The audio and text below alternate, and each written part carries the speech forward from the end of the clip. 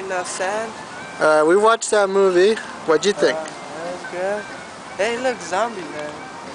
we watched that one too. We haven't, we to, we haven't watched Paranormal. Stepfather, I heard it sucked. You know it's a remake, right? Stepfather? Yeah. Yeah. It's a remake of a remake. It's a remake of a remake. Yeah. It's a remake. The first movie came out in the 60s. The second movie came out in the 70s. Decades apart.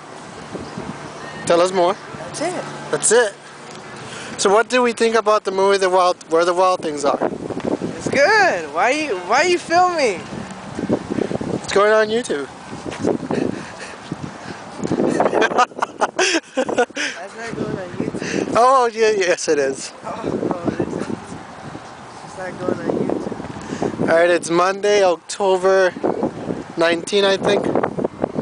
And we just watched Where the Wild Things Are. And I didn't know that uh who?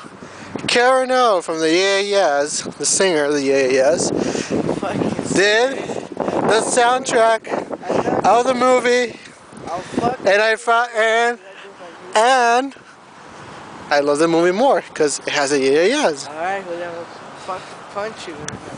He's gonna fuck me and punch me, you hear that? Ah! I'm being abused by a